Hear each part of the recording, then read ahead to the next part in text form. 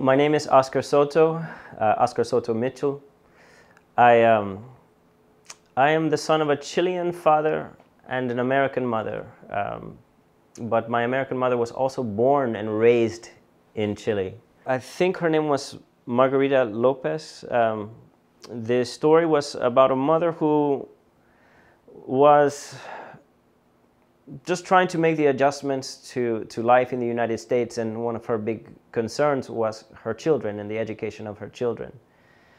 And there was just this small moment at the end of the story where she was talking about how intelligent and confident her five year old daughter was. Um, when she was speaking, the mother was speaking to an ESL teacher, and they were talking about what kind of special um, tutoring they might provide for the daughter, and the daughter said, Mom, I don't need that. I can do that. I can do it in English.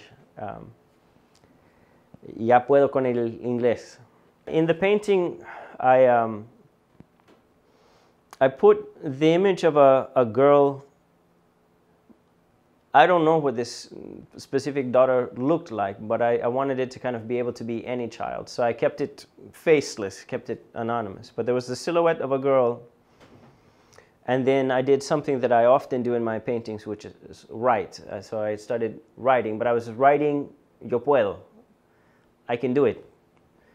And I wrote it over and over again in kind of concentric circles radiating from the, from the girl because she's kind of projecting that energy um, and even if you saw that painting and you didn't know what yo puedo means, uh, you can still see that the girl is projecting this kind of energy. And I wanted through the colors for that energy to be kind of happy and, and full of life.